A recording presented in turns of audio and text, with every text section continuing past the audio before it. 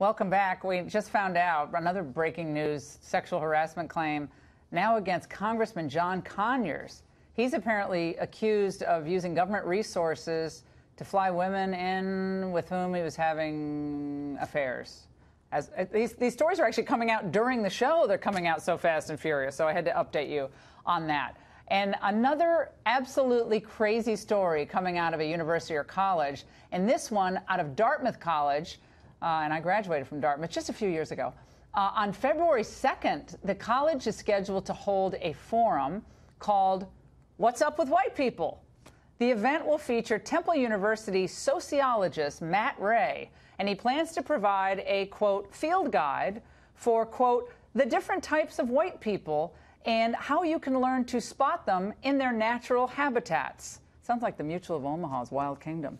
Dartmouth released a statement saying it's committed to robust debate and told Fox News that the Professor Wray does not represent the views of the college. Joining us now for reaction from LA is Tariq Nasheed, a film producer who also bills himself as an anti racism strategist. All right, take it away, Tariq. How is this? And we don't know what exactly is going to happen in this, but you got kind of a summary. Right.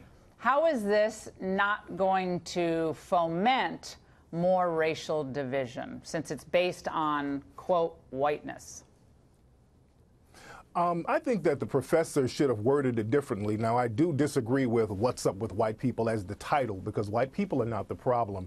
And I don't like to paint everybody with one broad brush. You have white people and you have white supremacists. And I think that it should have been entitled, What's Up with White Supremacy or How Can We Dismantle and Understand White Supremacy?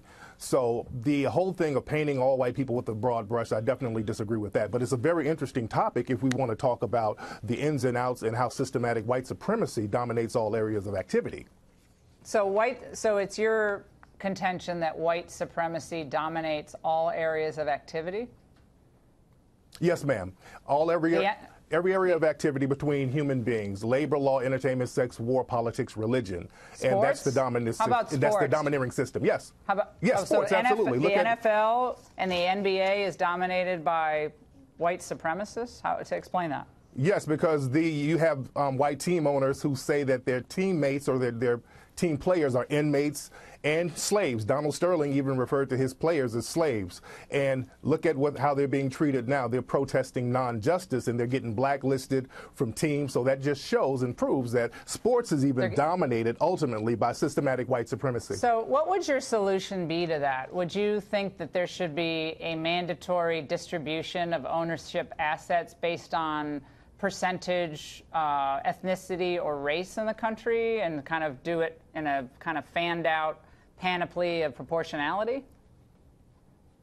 Well, the thing is how white supremacy works. It's all about maldistributing the resources, and it's all about passing those maldistributed resources down through lineages. So we have to talk about redistributing those um, those resources that are deserving to the people who are supposed to get it. Um, systematic white supremacy it works based on deception. It works through propaganda, and that's something that we have to talk about and we have to flesh out. I want to replace the system of white supremacy with justice because not only do we get it when it comes to resources resources in the criminal justice system, it's a racially biased system. So it, all across the board, it's a conversation that we should have naturally on how we remedy so, and replace right. the system of white supremacy okay. with justice. Yeah, I, I, get your point, but mm-hmm. so my answer is the solution. So you believe it should should it be a monetary right. payout? Should it be monetary plus land or plus business ownership? I'm just trying to get the solution straight.